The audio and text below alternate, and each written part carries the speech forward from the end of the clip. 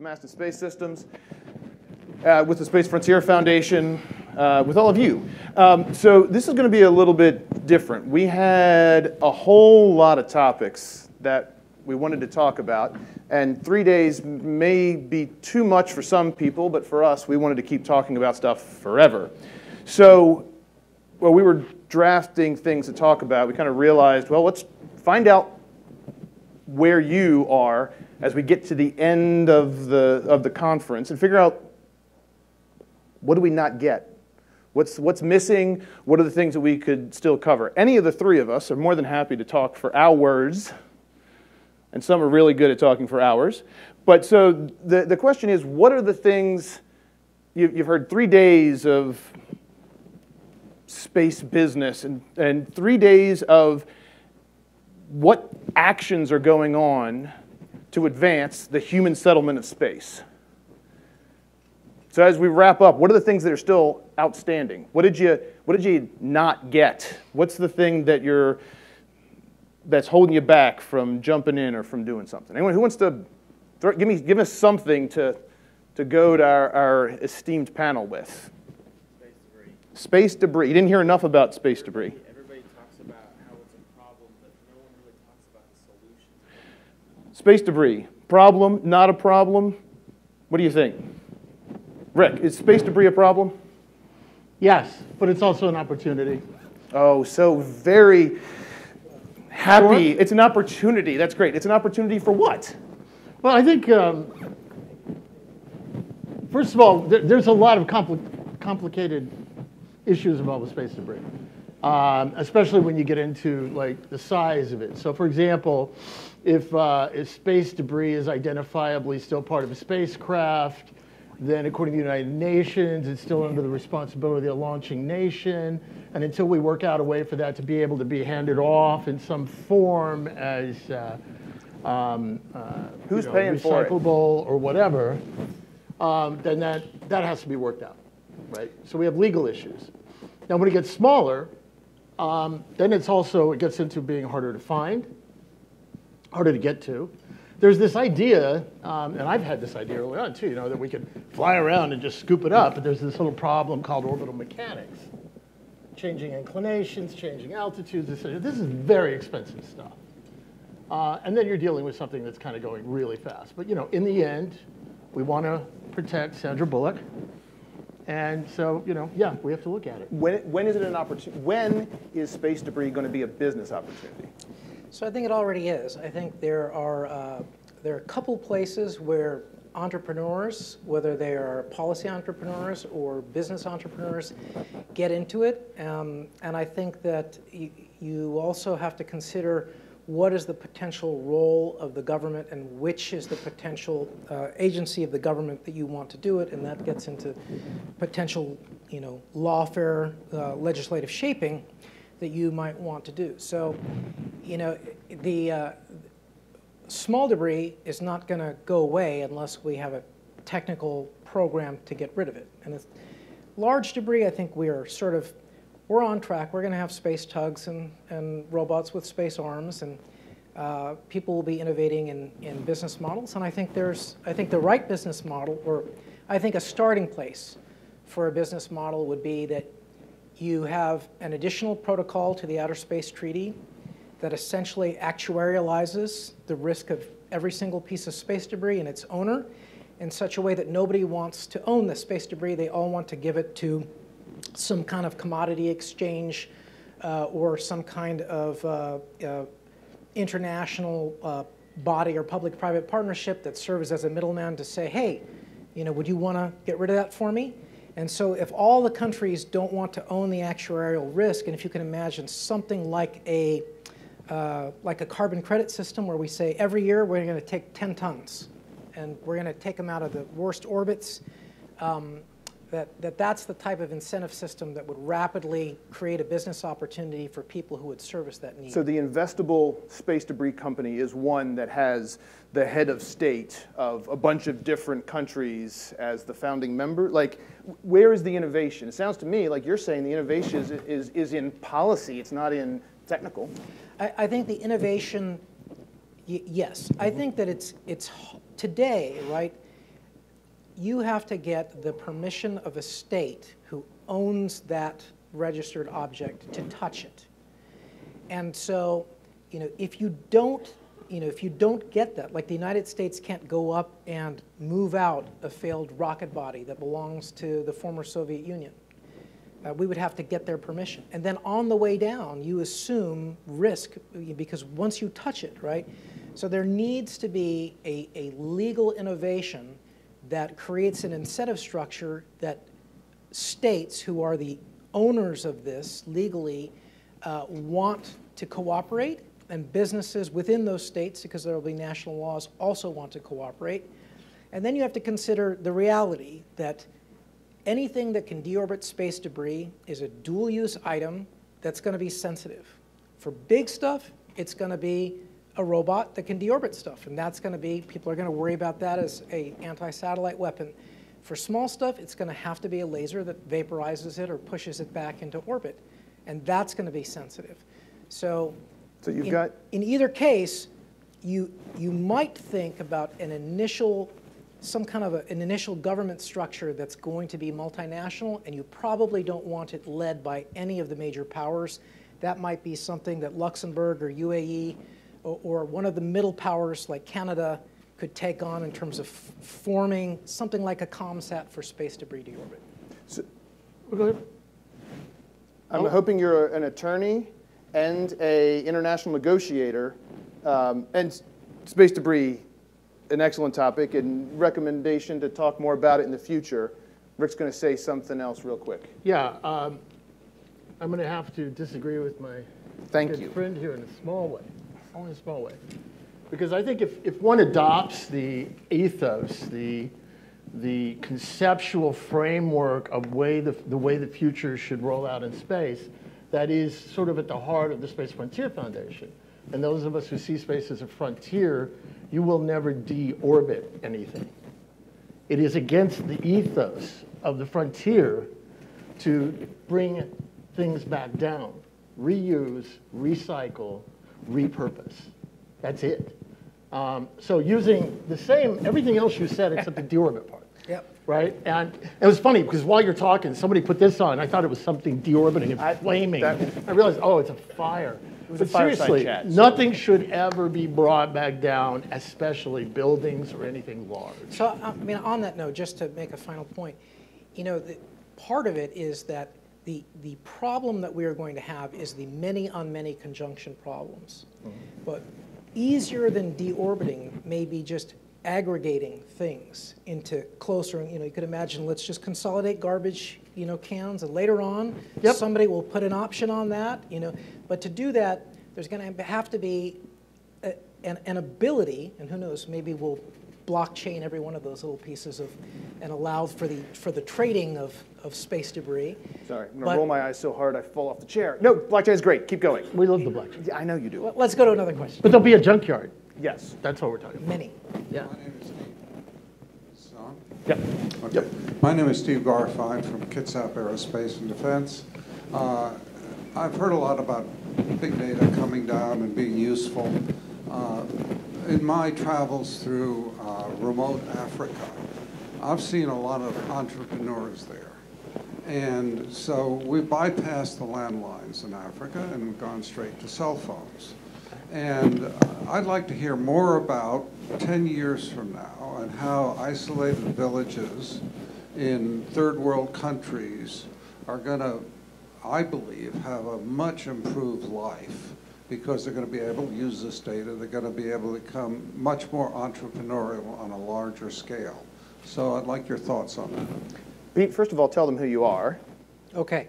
So I am very recently retired uh, uh, strategist and educator for the Air Force on long-term space strategy. So I used to run our uh, the Air Force's Space Horizons program and, and helped initiate our Schriever Scholars uh, program that is, uh, I think, uh, really building a cadre of, of military space officers that understand the gravity of what your community is doing.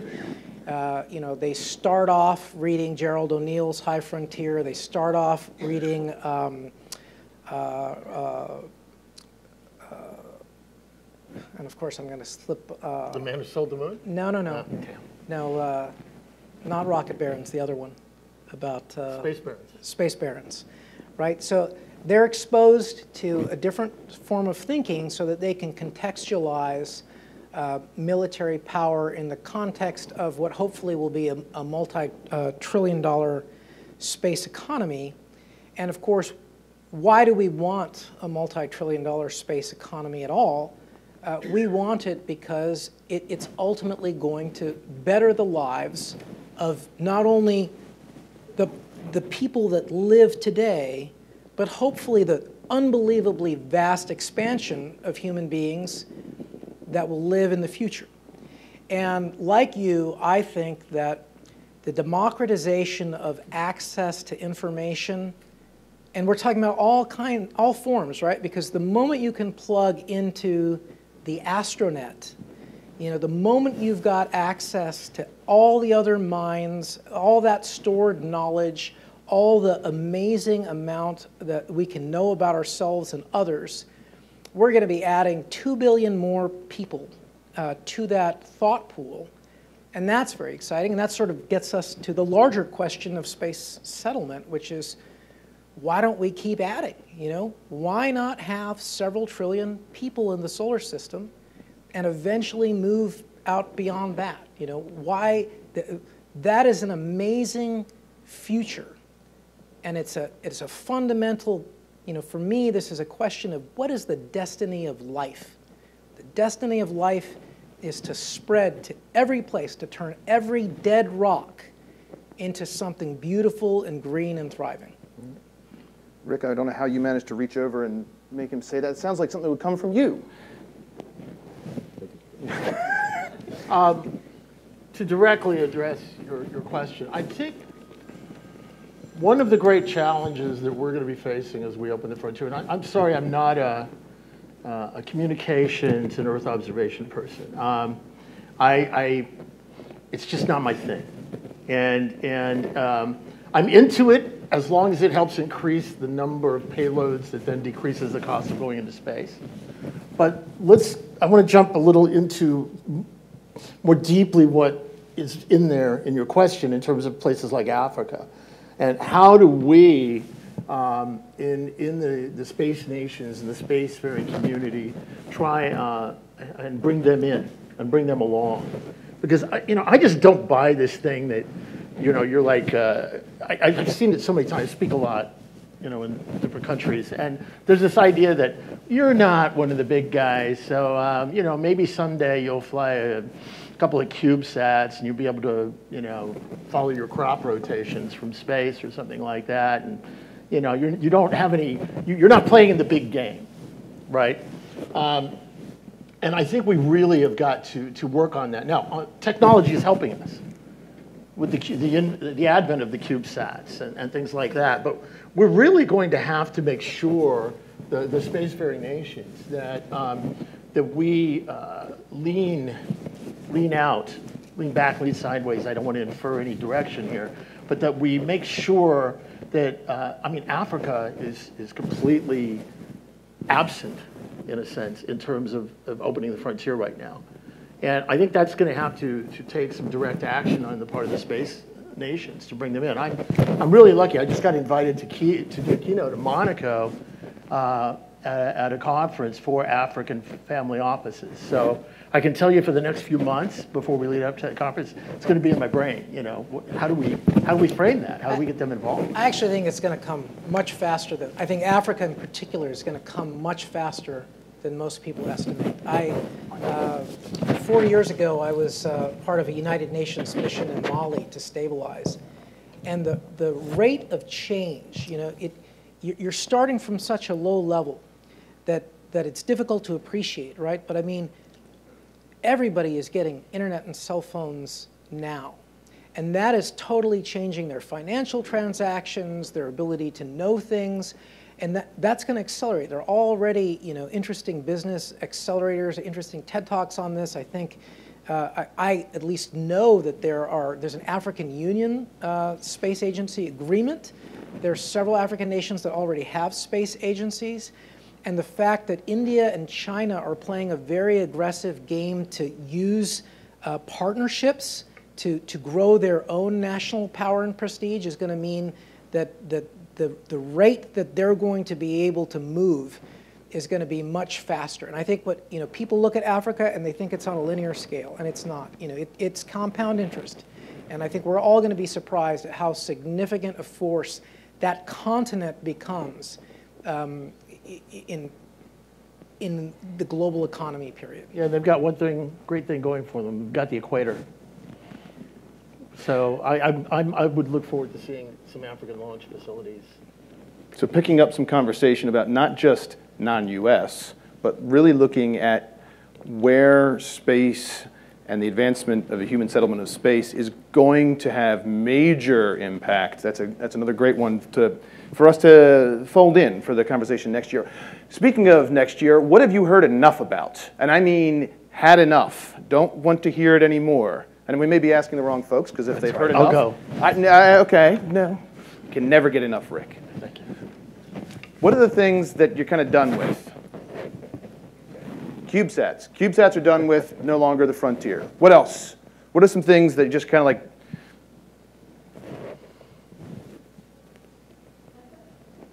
love everything? All right, just remember, everything we talk about is going to be bumping something else. Let me flip the question then.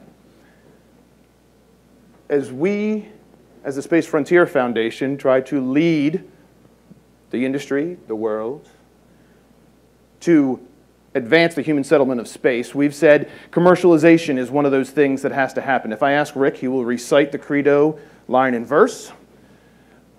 And so we have focused on commercialization. Most of this has been about commercialization and unlocking potential, bringing the free enterprise.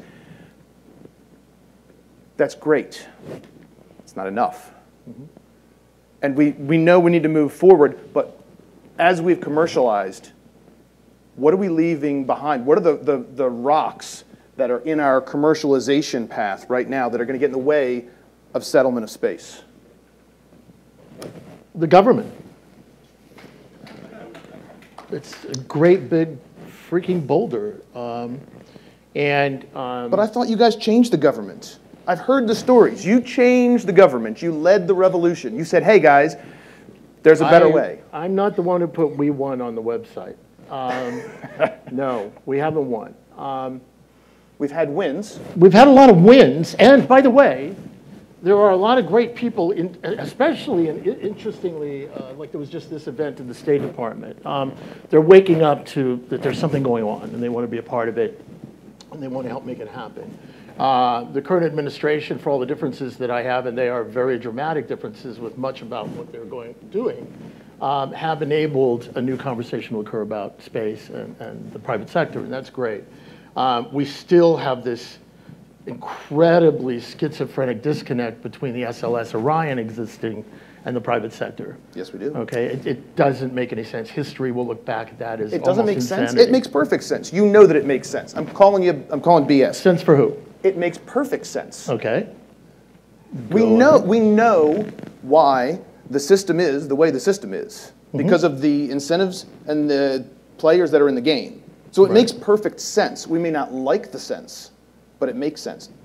it depends on where you sit uh, in terms of the word sense. Fair enough. I I'm didn't gonna- say I'm- reason. I said sense. Okay, well, we're getting into semantics here. Um, I think the, the, the existence, uh, at the same time that we're supposedly going to the moon rapidly in a way that is supposed to be economically sustainable, As it was said, we'll do it. Got it. uh, of, at the same time, of the SLS Orion system is oxymoronic. Um, Yes, it exists to keep the pork barrel full, it exists to feed constituencies, it exists to uh, maintain this sort of uh, psychology uh, that has dominated the core government NASA program since the Apollo program. Um, But it doesn't make sense in terms of achieving a goal. Uh, Bob Zubrin um, says it, and God forbid, don't tell Bob, I'm actually, you know, paraphrasing him. He's a, he's a good friend, but, you know, he has this great statement where he says that um, the human exploration part of NASA uh, spends money to do things, and that the human spaceflight part of NASA does things to spend money. Um, And, and that just doesn't work. All right, so step one, we'll get rid of the government. Step two, Pete, what's the next? whoa, what's whoa, the whoa, whoa, whoa, wait a minute, just before you get that. Uh, No, I'm not saying get rid of the government. We need regulation, we need structure. We just need a little bit of sanity tied to it and a shared belief and uh, motivation to achieve economic goals. But I don't want to give, I'm not an anarchist. Gave him the opportunity. So, Sorry. you know, I, I have not had the amazing experience of being a private sector entrepreneur, but I understand your frustration having been an entrepreneur. But what I would say is that uh, if you start with a boulder, uh, you, you have to look at the government policy and legal structure uh, as a sculptor, right? You, you're going to have to carve out and make it what you want to be, and it's going to be a lot of work over time. But uh, I, I have a bit of a um, an, an artistic uh, disposition, and the, the medium I like to work with is bureaucracy. I like to, to shape and cajole and eventually get it closer to, to, the, to the sculpture that I think it should be. Um, I'm happy to take questions because I am very much attempting to sculpt um, a, a, a new uh, pro space development, protection of space commerce, military arm of your government that would be directly responsible to you, that would, in theory, uh, uh, be an amazing business opportunity for you, but more than that, would protect the freedom of commerce. That is a very tough game right now. Uh, but I think that uh, you know this is the time for this community to engage in offensive lawfare. You have to know what you want, and you have to get in there and help the right law and policy to happen. And let me just point out there is no real national policy for space development or for space settlement, right? We have a rogue US agency, NASA, that is incapable of actually reading their constitutive document and what they're supposed to be doing in terms of development and has resisted anything other than you know being in front when that is certainly not what our community is looking for NASA to do, right? We want them to be, you know, like DuPont used to say, you know, we, we don't make things, we, we make everything better, right? To, to seed that and uplift that. And until some tectonic shift happens and we stop talking, uh, it- maybe it isn't that we stop talking about it, right? But exploration is not the right word for this generation.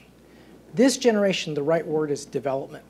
If we do what is in our power to develop space, the potential for exploration is amazing.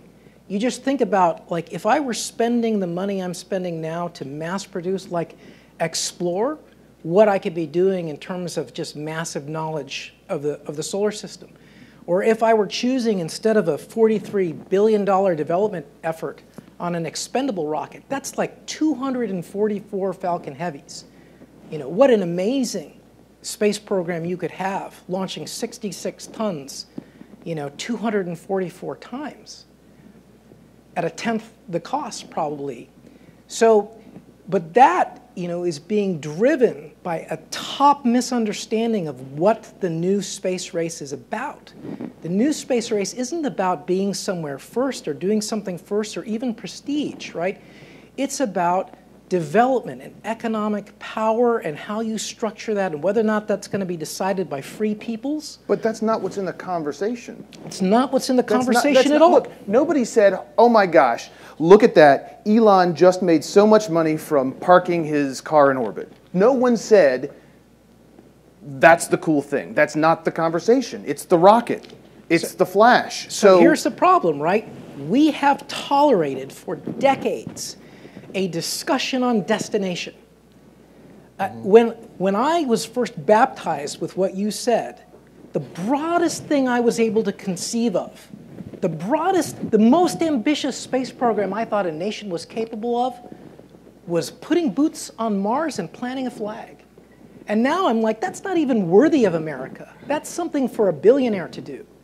We need to be building You know, a ring of solar power satellites, of 50 terawatts of green energy, mining the moon, sending our stuff out to the satellites, scale, scale, not doing it again, not doing it two times, a thousand, a million, a trillion times the scale that was Apollo. That's a dream that's worthy of the United States and its partners. And that's where we should be leading to. A vision of the future that is so powerfully good for humanity that it just dwarfs all this. If we have an infrastructure that can build 50 terawatts of green energy with lunar resources, which, by the way, is the, the PRC's plan, if we do that, sending somebody to Mars or sending an interstellar probe is just marginal. It's just extra budget dust on top of what exists that we're paying for in consumer lights. We, there's no way that we can afford the scale of space, uh, uh, the scale of the space program on public dollars that we as consumers could potentially put up there with just our consumer demand for energy. It is many orders of magnitude difference. We, um, as geeks, have a tendency to argue about technologies. Uh, 1988, uh, Steve Wolf, uh, the staffer for Congressman George Brown, was able to pass, and this was my baptism, where I got to learn about the walking the halls of Congress. I was uh, kind of furloughed from Dr. O'Neill's Space Studies Institute to work with Steve in Washington, passed the Space Settlement Act of 1988 it basically codified that the goal of the human spaceflight program of the United States was human settlement. The administrator at the time, a guy named Dan Goldin, hated it, put one of his staffers, a, a, a woman named Lori Garver, on the job of, of, of keeping it down because, God forbid, the aerospace industrial complex, which was feeding, actually have metrics towards a goal that it be measured against. And they didn't want that because it didn't fit their agenda. Um, and what was interesting was the space community itself, us, National Space Society, the other organizations that were out there, rather than going and, and grabbing that because we had it, it was signed into law. We spent the next few years arguing about launch vehicles. Uh, I think it was the EE, EE, Evolved Expendable Launch Vehicle, or something like that. It was, you know, pick your launch vehicle debate of choice, and, and that was what the fight was. In the meantime, by the time, as time passed, um, Clinton Gore came in, and they had a thing called the Paperwork Reduction Act, and NASA happily said, ah, there's some extra paper here, get rid of this one. And it was eliminated. And there wasn't a peep from the space community. Nobody said anything. Not even you? No, not even me. No, I was caught up in the fight. There, I think there's a real lack of class consciousness Yeah. of ours to, to care about this larger vision. You know, like this is about a national purpose, and and I realize this is an international conversation here, um, but maybe most of us are Americans here, and in that national purpose, the United States has always tried to provide a structuring role where everybody can go.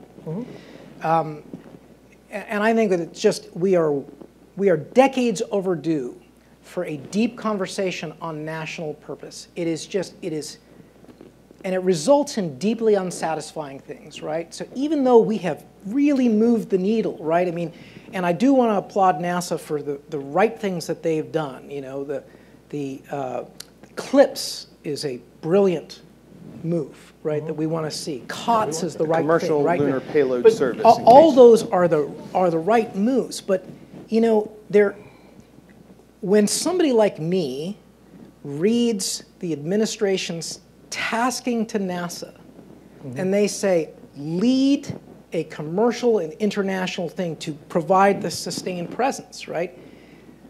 That doesn't mean NASA gets there first and all of you help lift NASA up. That means NASA structures the market for something at scale. That means NASA starts the conversations with Commerce and FAA and State Department to say this is the industrial park. These are the metrics. This is how much lunar propellant But we're going to how have. you hear it. That is how I. That is not how. I'm pretty sure- I'm pretty sure because I know who wrote it that that's what they meant. That's what they meant. But the distance between the voices of sanity and NASA's ears is probably much greater than that. Communication is more than just saying it. You've got to, You've you've got to say, yes, you've got to say it multiple times. Now, real quick, I, I do want to finish my statement there on, on, on on about the settlement thing. First of all, I'm not sure that I didn't say anything, but I got to look at, look it up. So I'm going to go for the negative and, and, and said, but the other thing that did happen was in 2015, we got the word settlement agreed to by a lot of people in DC. And then um, several groups got together, carried that forward. Tony DeTora, former executive director of Space Frontier Foundation, and, and others worked on the Hill. And they got the word settlement into the NASA Authorization Act. It made it through both houses of Congress. It got into the committee where they were hammering around the final language. And right at the end, again, approved by both committees, it's in there. And a staffer, I think from uh, Lamar Smith's office, um, went in and, and said, yeah, we don't like that settlement word, and it went away. Uh, Let's talk about why that word is important, right? Words really matter. And settlement is totally different than habitation or, uh, I forget what the current extending human presence, right? Presence. That, that's different. Settlement means children. It means you go there to live. And if that's your goal, right, continuous occupation of LEO is one thing, but settlement means that you can stay there. And you can be on a path, as we are on ISS now, where you never get to testing rotational gravity. You could be doing much more to see, you know, what is possible for human reproduction, and you're thinking about scale, right? It's this is why I, I worry about the future of NASA because Elon has put out such a compelling vision of a city on Mars which is settlement, and that's so much bigger than anything that could be conceived of by a government agency. If you don't have settlement, and I actually think it's settlement needs to imply much more. People tend to think about, okay, settlement. If I want to, if I want to support one human being, I need all this other stuff. I think the reality is is that one human being supports these many millions of biodiverse species of fungi and bacteria and plants and animals. We are the life carriers of Earth life. Mm-hmm. When we go, it's not just us, it is the entire green Earth going with us. And every human being we put enables not just us, we are going to take the whole diversity of life with us into any place we take our, our civilization. And the bar and what that drives in technology, that word settlement, is so much more ambitious than sustained human presence. And it drives, in a very different way, this okay, well, what does sustainable on the moon mean? If, if sustainable means we want an Antarctic station where we go every once in a while, that's one thing. If the goal of human settlement is we're going to have trillions of people living and working in our solar system and beyond, moon is the place to start figuring that out. That generates an entirely different program of what you are researching and what gets priority. And let me point out, it's not science. Science enables, and you will be funding science, right? But it's not science for science sake. This is a purpose, a purpose of why you are conducting that. And right now, you know, you've got this tyranny of uh, uh, this tyranny of curiosity where science is the driver of everything that NASA is doing, as opposed to science in the service of a grand destiny for Earth life and humanity as its carriers. And a follow-up to that is a question here, and I'm sure he's got, you know, his, his, he wants to go take that fungi to space. So, all right, what, we threw a bunch of questions out, and I think we may have answered one so far. So, what, what thing were you, what, what question are you answering or asking? So, I- Who are you? my name is Todd Youngblood. I'm uh, Director of Technology at Space for Humanity. Um, so I, I really like this conversation, and I, I really like this audience. Thanks. Vote us number one. We get no bonus, but yeah, do it. Okay. Space is a really interesting topic because it, it it's an intergenerational topic. It's an intercultural topic. It's an international topic, and it really holds a, a special place within within humanity and society. Um, I, I've I've heard it come up a few times over the conference that technology is is an opportunity, and and technology specifically like the blockchain uh, and cryptocurrencies, if I've heard it said that if they're not implemented, they're, uh, your, your company's not gonna be around in a few years. And to me, there's an opportunity there because space is also very dependent on trust, both international trust and interpersonal trust. And to me, growing up and, and living in a life of software, I see um, emerging technologies like, like the blockchain as being a, a codified representation of trust. And so to me, I, I see there being this opportunity of utilizing technology almost as a bridge and using space as a bridge because I mean, up until this conference, I haven't really heard of a good application or, or the utilization of, of the blockchain, and this is coming from financial services, until I heard about the marriage of space and blockchain. So there's some, there's some interesting emerging research coming out of the Open Data Institute about uh, data trusts.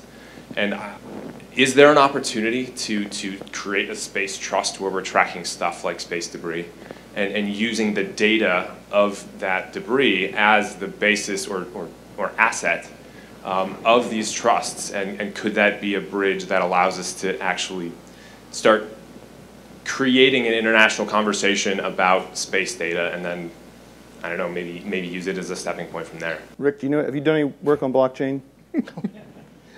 Oh, man, I'm, this, this is a joke for blockchain people, but I've been climbing the Merkle tree, um, which is a, a term they use. Um, I, I was so Can, proud. can we issue a first did it. token to, to give us a three-minute answer? Is that how that works? Very funny. Um, look, I, I think that, yes, first of all, in the financial side, the security tokens, the, the fractional ownership, things like that, that can, that can be done using the open ledger technology of, of, of blockchain is, is great. We're, we're, we're going to apply it in, in SpaceFund. Um, we have to, we actually realize at SpaceFund, we have to be cautious about that because in some sectors, they're, they're still suspicious you know, oh, it's that Bitcoin thing or whatever, and, and you don't want to pile a new on top of a new. On the other hand, whenever I go in front of blockchain audiences, um, it works beautifully because they're, they're, they're already future-oriented, revolutionary space geeks. And, and they're already into it, and they already understand what we're talking about.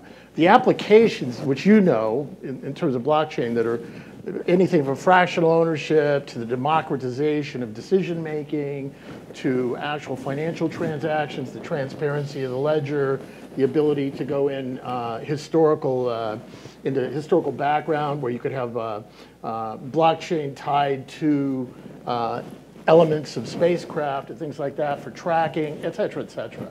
Um, the codification of communications using blockchain, all of that is absolutely you know, going to be a part of it. Um, Is there something that people in this room should be doing to map in blockchain with their space? Like, what, are, what are the studying it. actions? Studying? Okay, great. What else?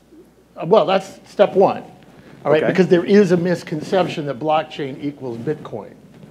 And that's, that's, not, uh, that's not correct.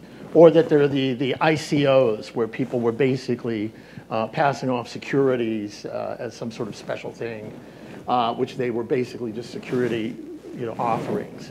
Um, there is. There was more hype than substance? This industry would never stand for that. It wasn't just hype, it was actually lies. Okay, let's- so We love the SEC. And um, the fact is that um, there are, you know, one of the very interesting things that you could do, I, I like, is the idea of applying uh, blockchain to the funding, development, and participation in the creation of human settlements in space where using blockchain, um, you could put in your, your intelligence, your knowledge, your supply, your capability to be part of the communal development of a settlement, and you would be tracked. And your, your input into the development, intellectual, physical, uh, whatever, labor, anything, financial, could then be mapped using the ledger system of blockchain so that you would have fractional ownership and be a participant in the development, including the decision processes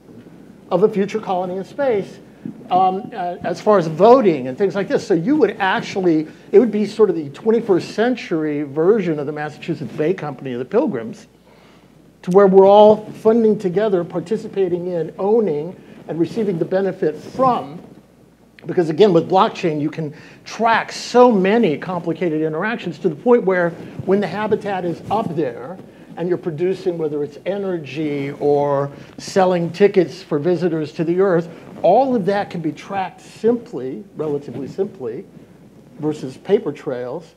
The profit goes into the core of the community that you're all part of and you've actually put your effort into building, and it all comes back out and you get to own a part of this place. So not an anarchist, a communist. And you're I got- what? Distributing, words like communist I know, no, don't I'm- I'm- apply. I- I know, No, I no, know, no, I know, but I no, know, no. I'm- No, that's a, that's a, it's great, I love it, it's, you know, there are applications for it, but the fact is, when you start getting into things like blockchain in, in uh, social financial systems, um, you, you start trying to apply Marxist terminology or whatever to that, it doesn't really work. It changes. Or So, anarchism, it just you doesn't I- work.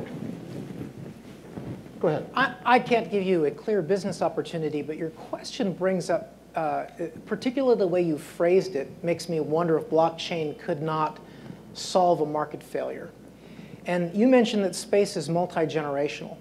And you know, I've thought for a while, you know, if there were something like uh, uh, an organization like maybe the Space Frontier Foundation that was making investments that wouldn't pay off for a century, but I could somehow, you know, own a portion or control of that. Or, you know, an interesting question that I, or something that I've always thought is, as a, as a taxpayer, it's, I've always wished that like I personally could allocate my money in a particular, mm-hmm. like in a NASA budget. Maybe I'm the guy who wants to fund manned exploration, or maybe I want to fund robots, or maybe I want to fund something else, right? If you can imagine, you know, like right now in government, there is no ability to crowdsource funding between agencies, right? So, uh, you know, today you, you can go on Kickstarter and propose a project and, you know, people can aggregate and when it goes, goes, right? There's really no way that you can do exactly that in the federal government. So if, you know, Dr. Moser and Air Force Space Command comes up with a great idea that they would only want to fund 10% of and you'd want 10 from DOE and 10 from NASA, we don't really have an elegant way of doing that.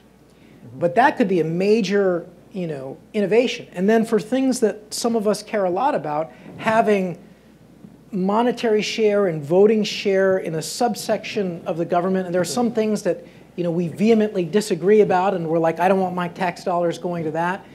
There's a possibility that you could fix this transaction problem uh, that, that, would, uh, that would liberate resources in, in novel ways and perhaps across generations where we can't, the market can't quite value and protect that in the way that, that we'd feel safe doing today. The other thing about space that ties into the, the blockchain, beyond the sort of fancy answer I gave a minute ago, um, is that once we get out there and we begin to establish settlements, you know, I'm, I'm hoping to see those settlements just be like the states of the United States were uh, to the to the founders as as crucibles uh, where you can try different ways of doing things. And I wouldn't be surprised to see variations of, of blockchain, social, financial technologies applied in different ways in some of these different communities as they pop up. And I should have It's a great known- way to incubate. Go I ahead. should have sorry. known better than to ask these two fine gentlemen a question about what are the boulders that are ahead of us, because I think I heard hundreds of years, some of the, the, the I was thinking like making payroll is a boulder that's ahead of us, but okay, that's, that is certain, these are big things and big opportunities. Um, Another, what do you, what, Okay. what do you got for us?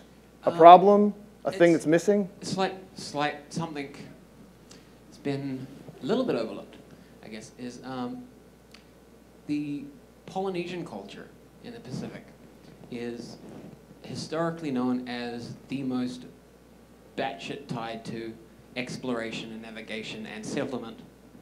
Um, got to the farthest reaches of the earth before anyone else. How do we get to the point where, right now in Hawaii, uh, Native Hawaiians are being arrested so that a 30 meter telescope can be built on their sacred lands.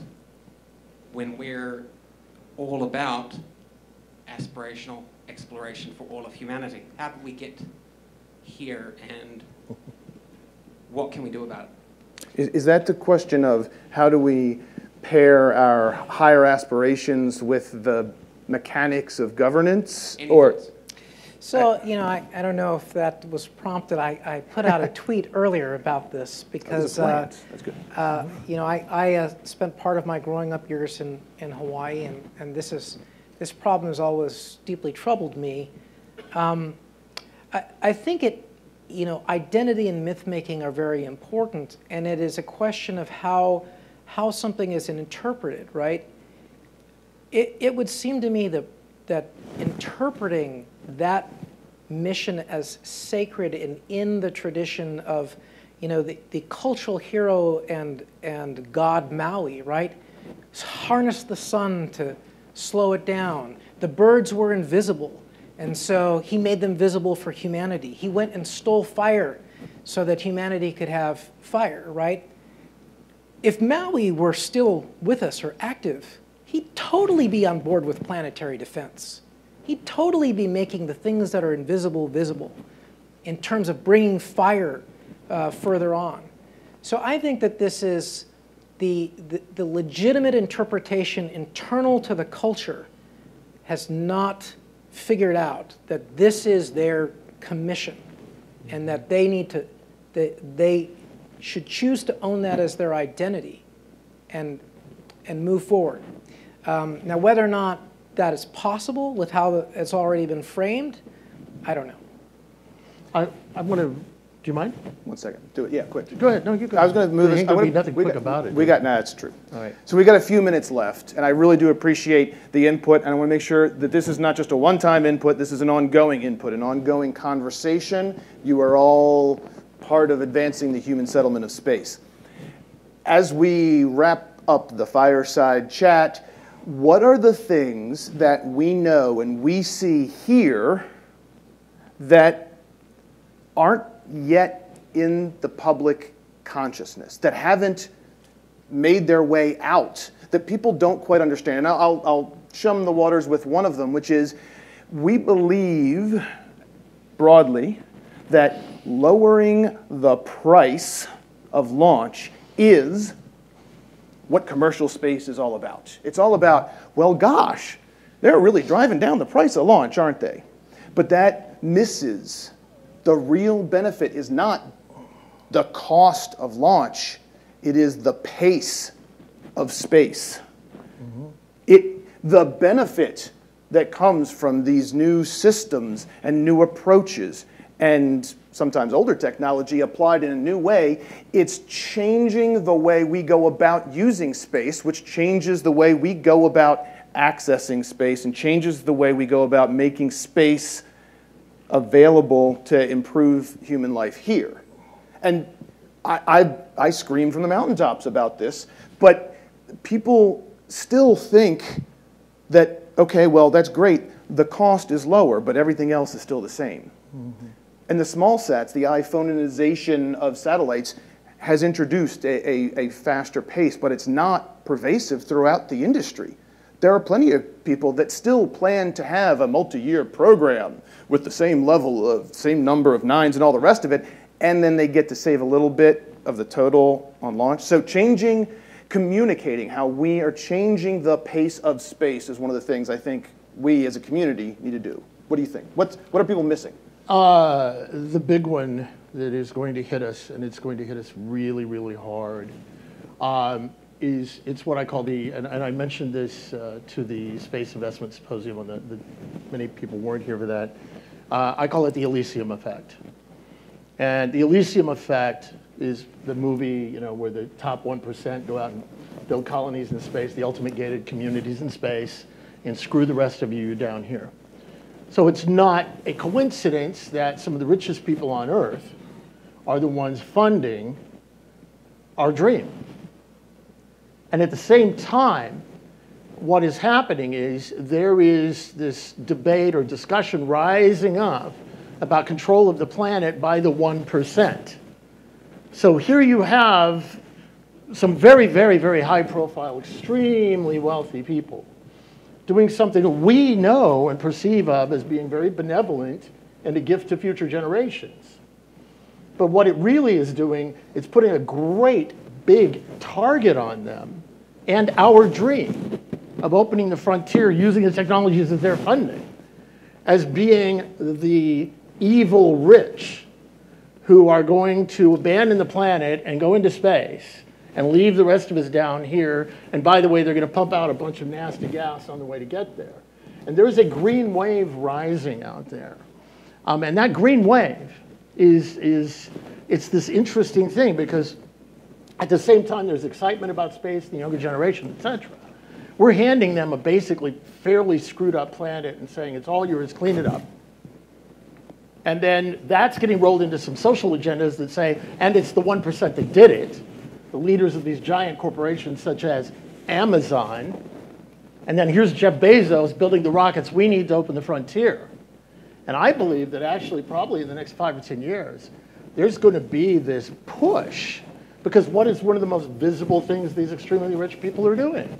They're building rockets And to go ones. into space. Oh, yeah. And once in a while, they get on and unfortunately follow the Twitter habits of our, the guy in the White House and say stupid stuff on Twitter and, and say stupid things about we're going to Mars and blah, blah, blah. So, So what is the thing that the public, so you're saying the public's perception. The is- public is that the- The problem, you're saying that's not real, but the pr- problem yeah, is perception is outside the reality. And the perception that the rich are going to move out into space and leave the rest of the people behind.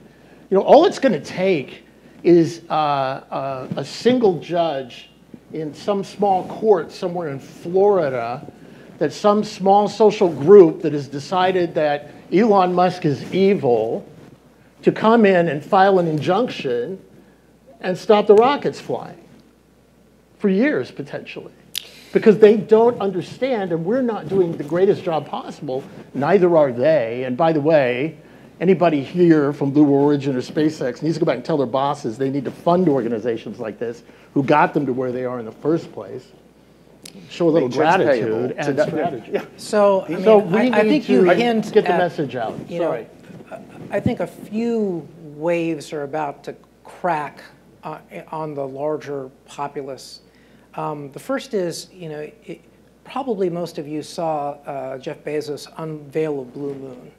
But if you haven't, this is one of the most important policy speeches given to the American public, right? He, it's not about Blue Moon. He establishes this multi-generational vision to build O'Neill colonies. And that and Elon have already had this effect where they, they have galvanized a, a huge coming social force and consciousness that this is a possibility.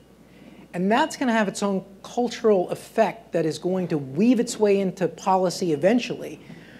But it's also going to have a counterreaction, and it's going to have an unfortunate counterreaction based on identity. And we mm-hmm. already see that with this labeling of his car as being, you know, a midlife crisis, and that we shouldn't, you know. So what, what I would say, right, and maybe I'm talking to you, maybe you're one of them, right? Mm-hmm. What our community needs more than anything else is a powerful, non white male voice on space settlement. A powerful non, because it is a different narrative, right? Settlement is about, right, children and giving birth and nurturance and taking things out. And it, and that, and having that come from a different identity, a different embodied presence, is going to have a different effect.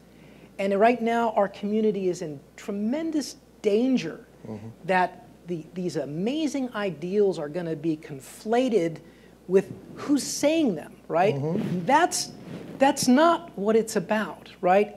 It, it is a much larger vision that can be owned by anybody.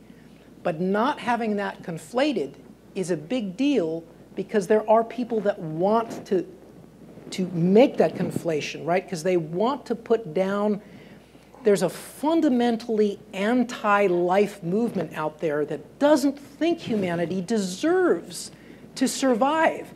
They, they don't want us to stop the asteroid from burning us up. They think it is okay if the sun expands and fries us all and we don't have any future in space. They think we're so flawed and tainted that we should never leave the planet and we should let all of life just die in a few billion years. Intelligence, life, expression, consciousness, that is within the power of this community to give to all the dead worlds, to green the solar system, to garden the galaxy. And there is an anti life agenda that wants to trap us in and label this as somehow maleficent and marauding and you know uh, exploitative. I wouldn't, I wouldn't call it anti-life. I think it's just a, a group of people who don't understand what it is that we're offering. Um, I think in their way, they are hurt, saddened, disillusioned in terms of their, their ideals as to what humanity can be. And they're basically uninformed as to what it is we're offering. Uh, in terms of our ability to, you know, I, I like to say that we are, we're leaping over the environmental movement we're not just going to save this planet, we're going to take the seeds of life and spread them into the universe. Um, and, and, and that is a message we need to make sure that is put out into the world. Now, as to your messenger thing, I want to do two things. One, I want to thank Space Frontier Foundation for this event because when I've looked around here, I will say that the, the male-female ratio is probably one of the highest I've seen. One of the best. One of the best that I've seen uh, in the space field, and I think you sh should be congratulated. To you. Uh, when we look at the when we look at the board of directors, the advocates, the uh, the other people in the organization, uh, I will put in a plug for New Worlds. We have uh, we publicly last week announced that half of our tickets are going to be given to women uh, to to come to our conference, which was a delicate conversation to have, but you have to get past the conversation into action. Amen. Um, Say I that think again. we Hold need to be Say it again. Pardon? What did you just say? It is a You got to get past the conversation and into action. into action. Say it again one more time. Past the conversation. Yeah. Into O- action. On this and anything else. and anything else. And we, uh, we need to, I think you're exactly right. You know, um, we need to, it's not passing the torch, that's almost passive. We have to actively ignite the imaginations and the feeling of being able to contribute and participate and lead in other groups than those, this, this identity I, I would also say, look, it's not about us opening the doors, right? We're hungry for it. Come steal the torch. Put, Yeah. your, put yourself up in lights. You know, it, it, we're not going to create that leader. They're going to have to emerge out of their own passion. The other thing I would just say, in terms of a market opportunity or reality that I see shaping, um, I, I think that, uh, as Dr. Moser said, right, this perception among nations that uh, the interstate competition is a big deal and that uh, they're going to compete and that space is the most important place to compete, uh, I think is actually the most beneficial thing that could happen for humanity. Because as much as I understand the sentiment behind cooperation, it is competition that moves us forward faster. So if we want to go faster, this is the, it, it is going to break on all the nations of the world as it already has that there's a new great game for, for space resources. And that is going to drive investment to everybody. It's going to make all of us move faster and faster. And ultimately, it's going to uplift all of humanity. And what is winning? Want to sum it? Winning is when everybody gets to be free. When liberty is everywhere, that's the definition of winning. Go ahead. I mean, blowing right past the stop sign. Don't even tell the cops. Closing thoughts. What are the things to charge? Uh, and I'm going to reserve impromptu moderator for saying something at the end. So give me just another. How much you want? A minute? Two? Me a minute to catch my breath. Um, really quickly, I, I think that one of the very important things that we need to understand is whatever happens now, let's have a race. Let's have a race. I love it when when uh, rich people are like, you know, my, you know, I, I'm going to go faster and further than you and all that. That's the race we want to see. Um, I, I like the fact that China is going to the moon and we're going to get up there and try and match them as long as that is done in economic scientific uh, and exploration terms. Um, and uh, what is really interesting to me is if we are successful, a couple of things are going to happen. Number one, throughout history, no matter who it was that sent a group of people to another place to live, or what government they came from, or who they represented, it, one or two generations in, the people there basically look back at the people that sent them and say, You don't understand us. Screw you. We are of this place. Teenagers. And that's the hope. That's the hope. Because whether they are from China or Russia or the United States or wherever they come from, a couple of generations in, they're going to be Martians, they're going to be Lunarians, they're going to be free spacers, and they're going to go on their own anyway. So there is some hope in that. But the other last point I want to make is that as we get into this, like we deal with a lot of treaties and these kind of things that are between nation states and countries and all of this, at some point very soon, given the blockchain, given AI, given the ability to utilize resources, unlimited energy, all of these different things that will go into the creation of places where people can live, their homes in space. We're going to see the rise of people who are completely independent of the Earth. They could go out into space, renounce that they belong to any nation, and declare themselves to be independent families, companies, corporations, whatever it is they're going to be, tribes, May it happen. churches. Pardon? May it happen. Yeah, You know, may it happen. And this is what I believe is is a very hopeful, hopeful sign because some of these people are going to figure out a little bit better way to do things than we have down here so far. So I'll, I'll leave you all with what I think is a super simple commission. Probably there's nobody in this room that at some point in their life wasn't confronted with a word or phrase they used that somebody said, that's, that's insensitive, right? Or you, you've chosen the wrong word. And of course, the first time somebody says that to you, you're like, oh, right? But you adjust. You figure out what the new culture is and what's acceptable and not acceptable. So don't let anybody get away with saying the word presence. You say, you mean settlement, right? Because presence isn't enough. If they say exploration, you, you mean development, right? Exploration and development, right? Because exploration is, is not enough. Mm-hmm. And you always bring it back to scale. As we make this conversation extremely uncomfortable for NASA and for our elected leaders, so that they can't talk in the same language that they talked in before, we will move forward the conversation and the policy towards the future we want to have. Don't let somebody just say exploration. You mean development. Don't let somebody say presence. You mean settlement.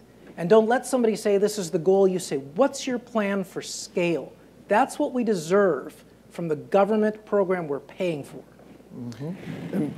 My last thought here is as you have become part of the tribe, become part of the church, as you have taken on the insights and the inspiration from preachers like those up here today and from the folks that have been up on stage throughout the conference, you're part of that ecosystem now. And that is phenomenal, and we're very glad to have you. Keep coming. Know that you've got a home.